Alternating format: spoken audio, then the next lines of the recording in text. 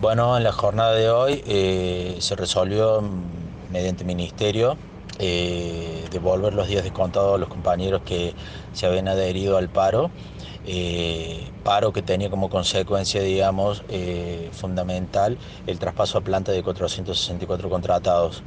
y se continúa la semana que viene con la mesa de negociación del Ministerio de Trabajo para el traspaso a convenio colectivo de Consecuentemente, eh, a nivel bancaria nacional, se firmó el acuerdo, eh, una reestructuración de paritarias con un 94,1%.